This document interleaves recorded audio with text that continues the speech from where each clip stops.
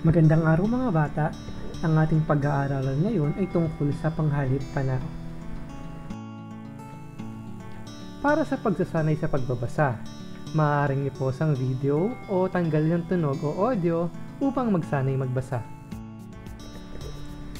Para sa synchronous 1 o preparatory task, ito ang ating mga layunin.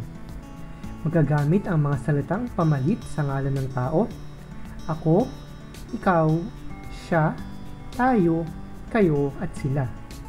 At natutukoy kung isahan o maramihan ang panghalip panao. Para sa panimulang gawain, basahin at unawain ang maikling tugma.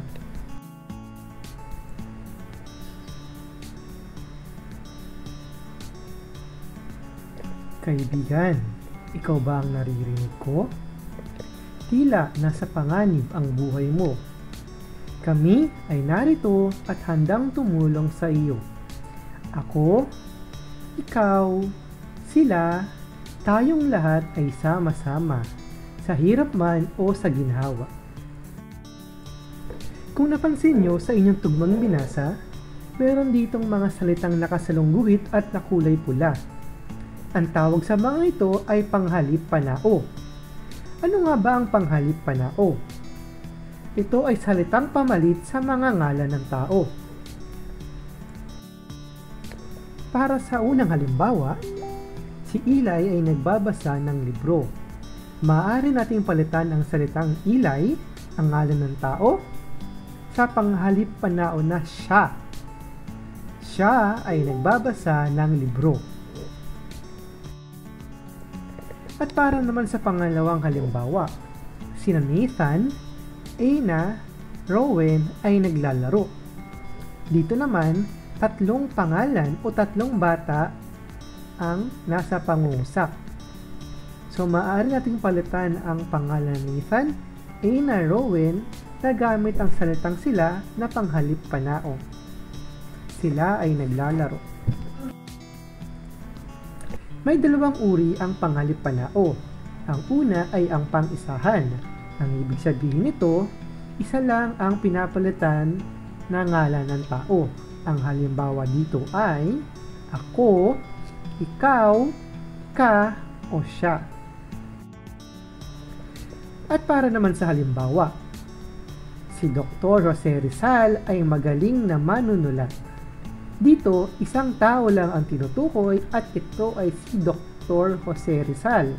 Kaya, maaari nating palitan ito ng panghalip panao na siya.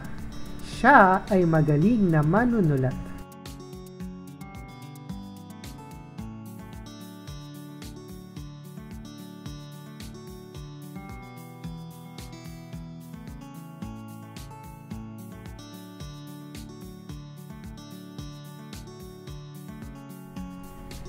At para naman sa pangalawang uri ng panghalipanao, meron tayong tinatawag na pangmaramihan. Ang ibig sabihin nito, ipinapalit sa maraming ngalan ng tao. Pwedeng dalawa, tatlo o higit pa. Ang mga halimbawa nito ay tayo, kami, kayo, sila. At para naman sa ating halimbawa, sina Jacob at Erica ay sumasayaw dito, dalawang tao na ang ating tinutukoy, sina Jacob at Erica. Kaya hindi na natin pwedeng gamitin ang siya ay sumasayaw dahil dalawa na sila. Kaya ang gagamitin na natin ay sila. Sila ay sumasayaw.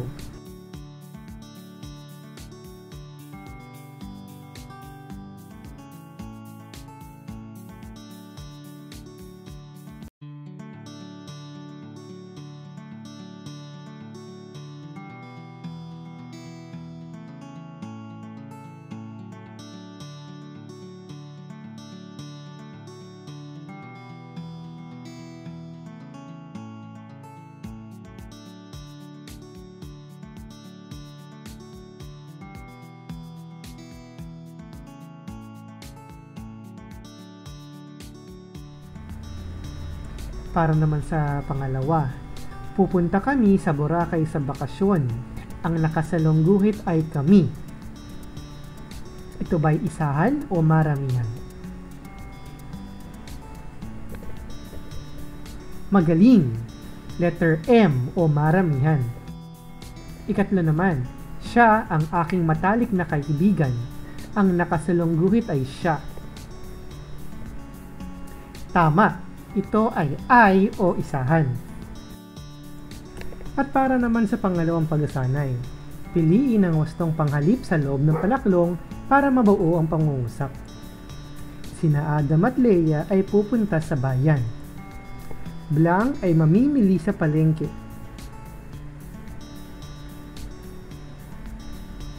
Tama. Sila ay mamimili sa palengke.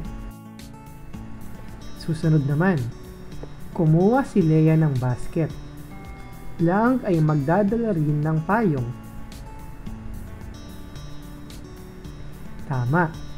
Siya. Siya ay magdadala rin ng payong. Ika-anim, bumusina si Adam. Aalis na Blanc, sabi niya kay Leia. Ang tamang sagot ay tayo. Aalis na tayo, sabi niya kay Leia. Lumapit ang dalawang anak ni na Adam at Leia. Tatay, sasama po Blanc. Ang tamang sagot ay kami. Tatay, sasama po, sasama po kami.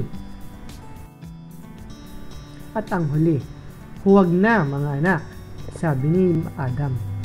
Hintayin nyo na lang blank ng nanay nyo. Ang tamang sagot ay kami. Hintayin nyo na lang kami ng nanay nyo. At dyan nagtatapos ang ating leksyon ngayong araw. Maraming salamat. Paalam!